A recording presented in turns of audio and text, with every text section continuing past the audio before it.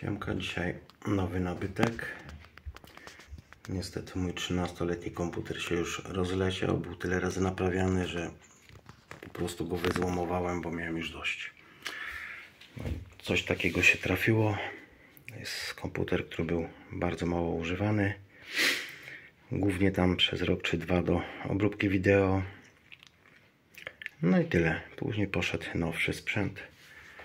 Tutaj mamy Intela i piątkę 6600 czy 300 GHz. Płyta MSI B150M Pro VDH. Ramy mamy Fury 16 GB. Karty mamy GTX 960. Chłodzenie mamy ciche taki dosyć dupny wentylator. No i trzeba troszeczkę wyczyścić jeszcze filtry, wentylatory, tu nałożyć świeżą pastę i pobawić się, bo to jest mała płyta, chyba jest ATX i wszystko tu poukładać, bo przecież tego potwora tam wsadzić, to zajmuje 3 czwarte płyty. No ale ogólnie będziemy działać.